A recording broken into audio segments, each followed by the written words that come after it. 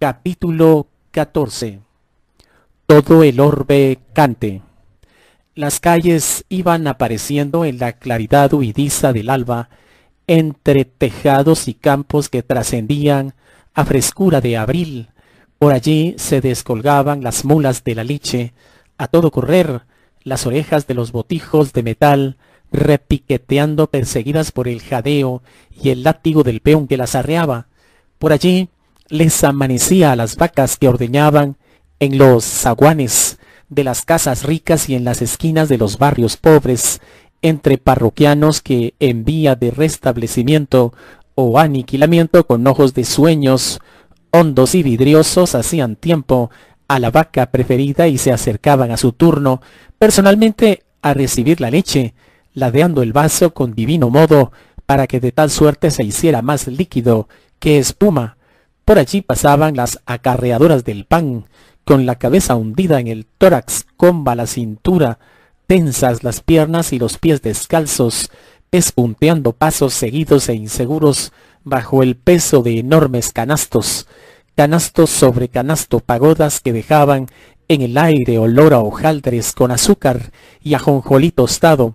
Por allí se oía la alborada en los días de fiesta nacional, despertador que paseaban fantasmas de metal y viento, sonidos de sabores, estornudos de colores, mientras aclara, no aclara, sonaba en las iglesias tímida y atrevida la campana de la primera misa, tímida y atrevida porque si su tanteo formaba parte del día de fiesta con gusto a chocolate y a torta de canónigo, en los días de fiesta nacional olía a cosa prohibida.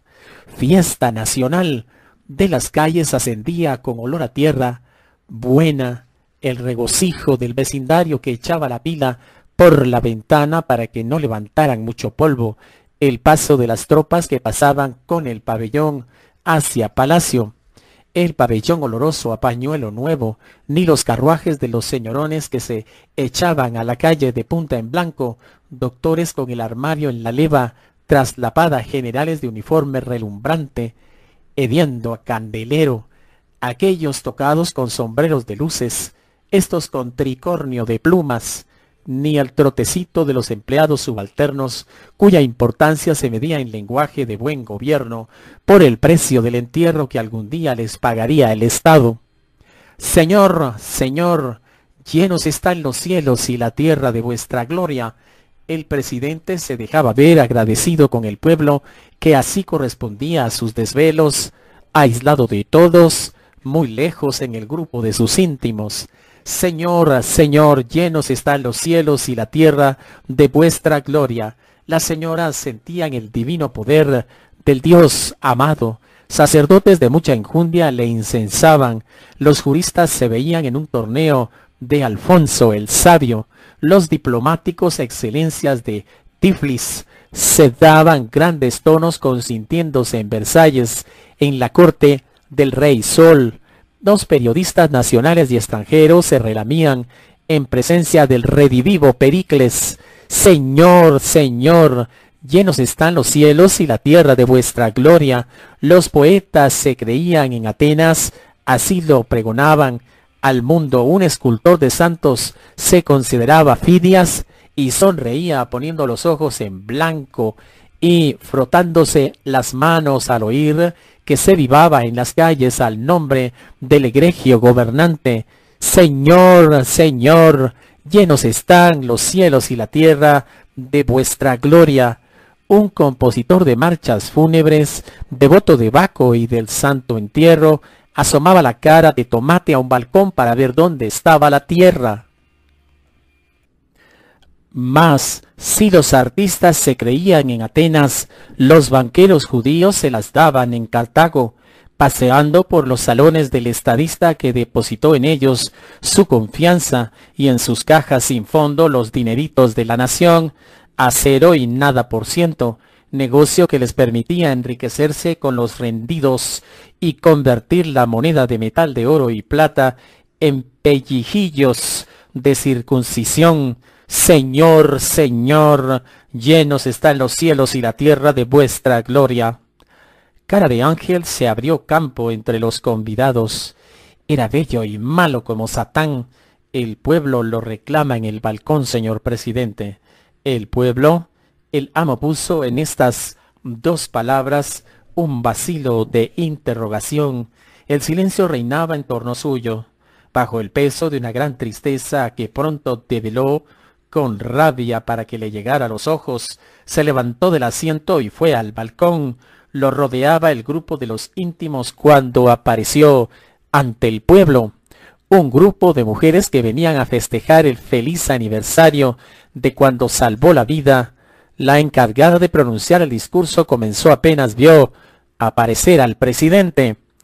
Hijo del pueblo, el amo tragó saliva amarga evocando tal vez sus años de estudiante al lado de su madre sin recursos en una ciudad empedrada de malas voluntades, pero el favorito que le bailaba el agua se atrevió con voz baja, como Jesús, hijo del pueblo.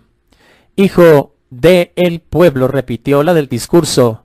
Del pueblo digo, el sol en este día de radiante hermosura, el cielo viste, cuida su luz, tus ojos y tu vida, enseña del trabajo sacrosanto que sucede en la bóveda celeste, a la luz la sombra, la sombra de la noche negra, y sin perdón, de donde salieron las manos criminales, que en lugar de sembrar los campos como tú, Señor, lo enseñas, sembraron a tu paso una bomba que a pesar de sus científicas precauciones europeas, te dejó ileso. Un aplauso cerrado ahogó la voz de la lengua de vaca, como llamaban por mal nombre a la regatona que decía el discurso, y una serie de abanicos de vivas dieron aire al mandatario y a su séquito. ¡Viva el señor presidente! ¡Viva el señor presidente de la República! ¡Viva el señor presidente constitucional de la República! con un viva que resuene por todos los ámbitos del mundo y no acabe nunca viva el señor presidente constitucional de la República Benemérito de la Patria, jefe del gran partido liberal, liberal de corazón y protector de la juventud estudiosa. La lengua de vaca continuó en cien ajada habría sido la bandera de lograr sus propósitos esos malos hijos de la patria robustecidos en su intento criminal por el apoyo de los enemigos del señor presidente nunca reflexionaron que la mano de Dios velaba y vela sobre su preciosa existencia con beneplácito de todos los que sabiendo lo digno de ser el primer ciudadano de la nación, lo rodearon en aquellos instantes, así a goz y le rodean y rodearán siempre que sea necesario. Sí, señores, señores y señoras, hoy más que nunca sabemos que de cumplirse los fines nefandos de aquel día, de triste recuerdo para nuestro país, que marcha a la descubierta de los pueblos civilizados, la patria se habría quedado huérfana de padre y protector en manos de los que trabajan en la sombra, los puñales para herir el pecho de la democracia, como dijo aquel gran tribuno que se llamó Juan Montalvo, Merced a eso el pabellón sigue ondeando impoluto y no ha huido del escudo patrio. El ave que, como el ave tenis, renació de las cenizas de los manos, corrigiéndose mames que declararon la independencia nacional en aquella agrora de libertad de América, sin derramar una sola gota de sangre, ratificando de tal suerte el anhelo de libertad que habían manifestado los mames corrigiéndose manes, indios que lucharon hasta la muerte por la conquista de la libertad y el derecho. Y por eso, señores, venimos a festejar hoy día al muy ilustre protector de las clases necesitadas, que vela por nosotros con amor de Padre y lleva a nuestro país, como ya dije, a la vanguardia del progreso que Fulton impulsó con el vapor de agua y Juan Santamaría defendió del filibustero intruso poniendo fuego al polvorín fatal en tierras del Empira. ¡Viva la patria!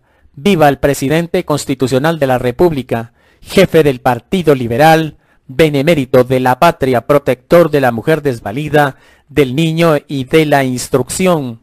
Los vivas de la lengua de vaca se perdieron en un incendio de vítores que un mar de aplausos fue apagando el presidente contestó algunas palabras la diestra empuñada sobre el balcón de mármol de medio lado para no dar el pecho, paseando la cara de hombro a hombro sobre la concurrencia entre alforzado, el ceño, los ojos a cigarritas. Hombres y mujeres se enjugaron más de una lágrima. Si el señor presidente se entrara, se atrevió cara de ángel al oírlo moquear. El populacho le afecta el corazón. El auditor de guerra se precipitó hacia el presidente que volvía del balcón, seguido de unos cuantos amigos para darle parte de la fuga del general Canales y felicitarle por su discurso, antes que los demás, pero como todos los que se acercaron, con este propósito se detuvo cohibido por un temor extraño, por una fuerza sobrenatural y para no quedarse con la mano extendida se la alargó a cara de ángel. El favorito le volvió la espalda y con la mano al aire oyó el auditor la primera detonación de una serie de explosiones que se sucedieron en pocos segundos como descargas de artillería.